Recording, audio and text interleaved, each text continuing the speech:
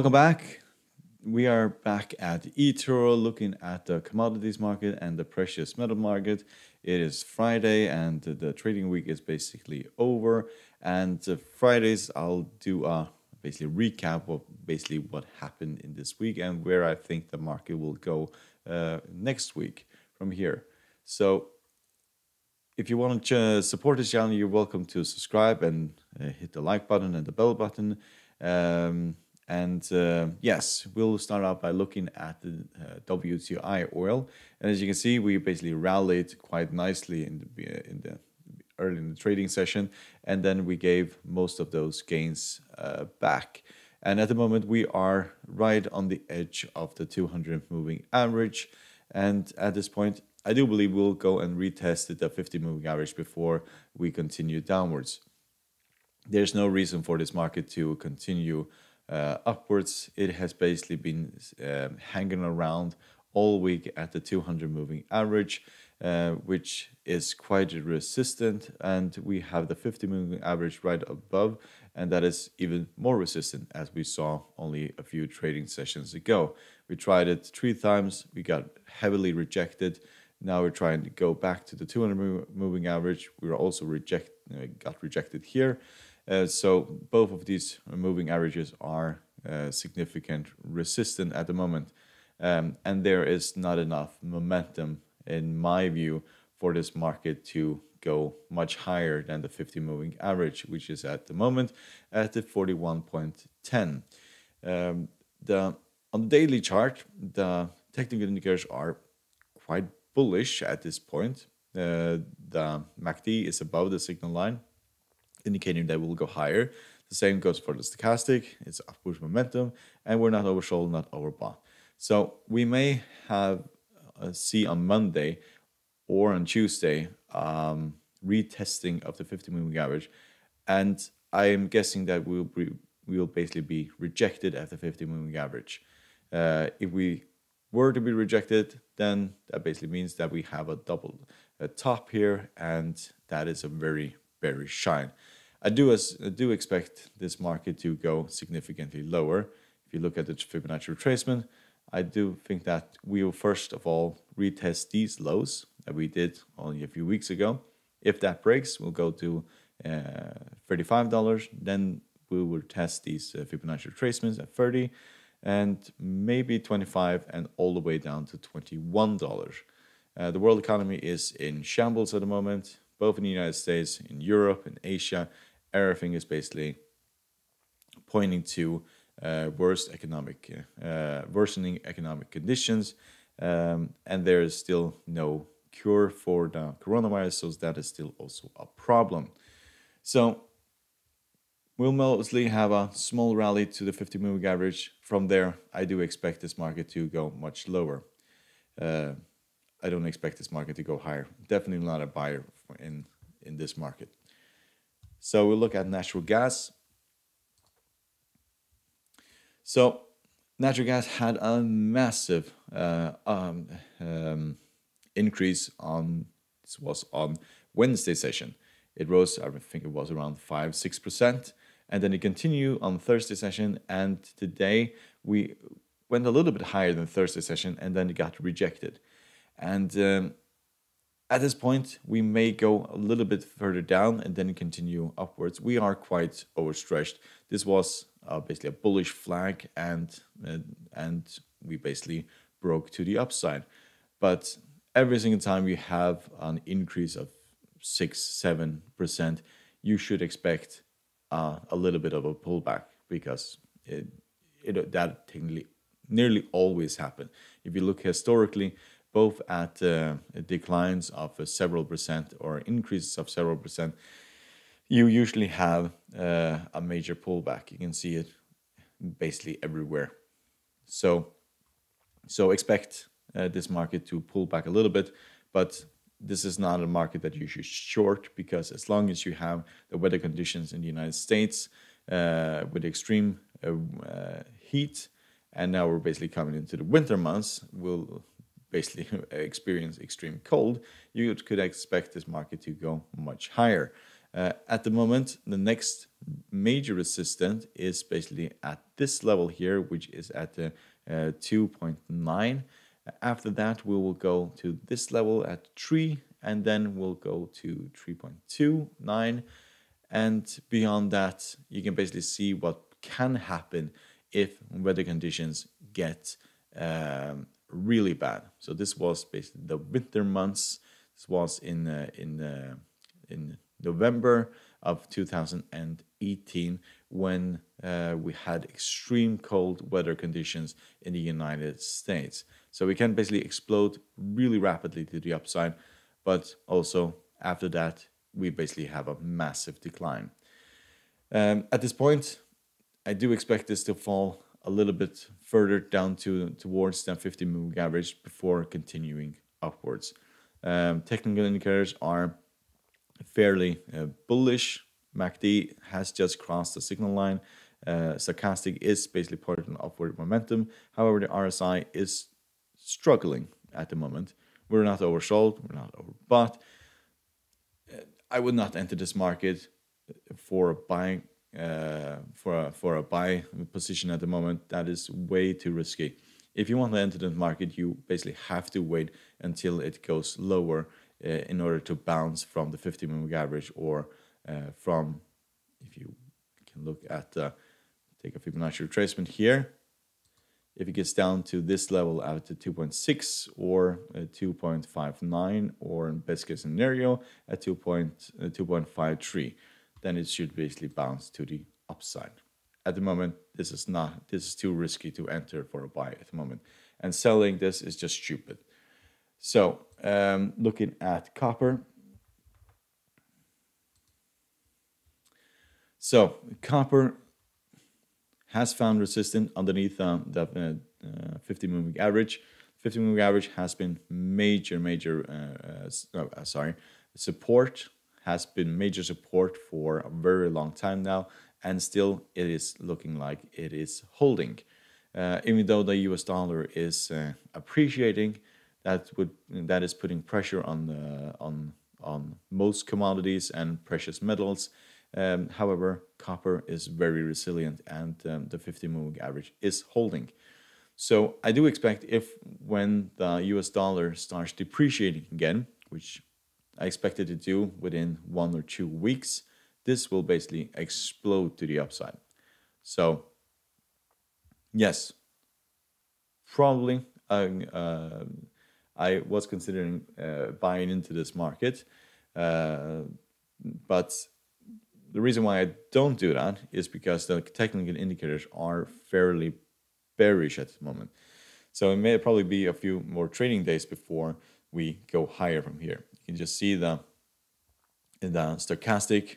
It is looking really bearish. The same goes for the MACD. There will probably be several days before we cross the signal line to the upside um, and so on. So uh, I'm kind of waiting for that. However, this um, at the moment, the 50 moving average is holding. If this were to break, we have the 200 moving average right underneath there, which has uh, also been quite resilient. You can uh, see it here or supportive.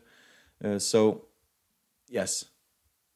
Um, if the, the, the US dollar basically uh, starts to devalue again, uh, or uh, then uh, depreciate, and I would basically be a buyer for this market. Uh, looking at gold. So gold is just hovering around this same area here uh, at around 1853 uh, and going up to 1573 and at the moment it is at 1800 and, uh, 1866 I do expect this market to go lower. I uh, think that it will basically go all the way down to 1800 in worst case scenario all the way down to the 200 moving average before we bounce. If we look at the weekly chart you can see we just had the crossing here uh, of a bearish crossing of the um, of the MACD, and that is not a good sign. Um, uh, that is basically a very terrible sign. The same goes for the stochastic and the RSI. All of these indicators are uh, are screaming that this market basically will go lower. And this mostly coincides with the, the uh, appreciation of the US uh, dollar at the moment. In the long run, this market will definitely go lower, higher as long as the Fed is pumping liquidity in, in into the the market, um, and, and so uh, all other central banks as well. This market will go higher. So buying it as low as possible is um, the way forward. Um, I don't expect this market to. It may be may rally a little bit and then go down. That may happen, uh, but I do expect this market to go lower than this because I don't expect the U.S. dollar to start depreciating uh, the next uh, or substantially the next uh, one or two weeks. Um, yes, look at silver.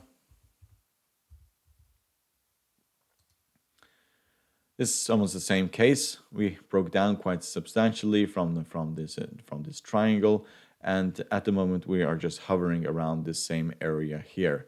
Um, the indicators are similar to to gold. They are fairly negative, especially the uh, the MACD.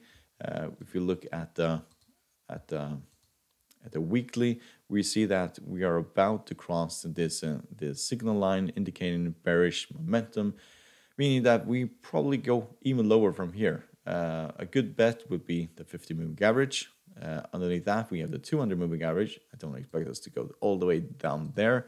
Um, however, if you look at the Fibonacci retracement, we are around the first Fibonacci retracement at 38.2 the next one is at 50, that is $20, uh, uh, 20.69, and that would be my best guess where we're technically going the next uh, next week or two before we can go up to the upside. Um, no interest in basically shorting this market. Um, similar to gold, uh, in the long run, this market will go higher. So if you look at cocoa, sorry, there we go. So we did have a, a big pullback. If you look at uh, the daily, we had uh, quite a big pullback, which technically was expected. I do expect this market to, to go and retest the uh, 250 moving average before we go higher.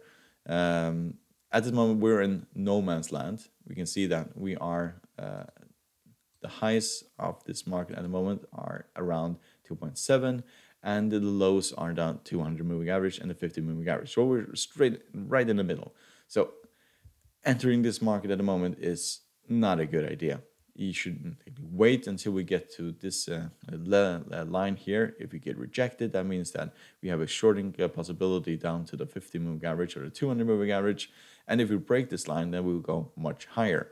Uh, we'll go all the way up to 2.8 and if that breaks we'll go all the way to 2.9 so at the moment we're in no man's land and uh, is technically gambling entering this market at the moment the technical indicators are also all over the place macd is pointing to downward momentum the uh, stochastic is, uh, is basically indicating that we're crossing the signal line probably going to upward momentum so at this moment just wait.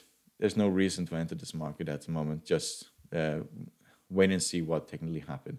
If it goes down to the to this level, that is a buying opportunity. Goes up to this level and breaks through, that's also buying opportunity. If it gets rejected here, then that uh, is a short-term uh, selling uh, opportunity. So, platinum. We can see that we rallied up towards the 200 moving average and then we got rejected. Um, however, the technical indicators for platinum, especially the, stochastic, is about to cross the signal line. MACD is quite negative. We're quite far away from the signal line, so we may stay within this area for uh, a few more days uh, before we go uh, to the upside again. There's just too much support within this area here and this area here.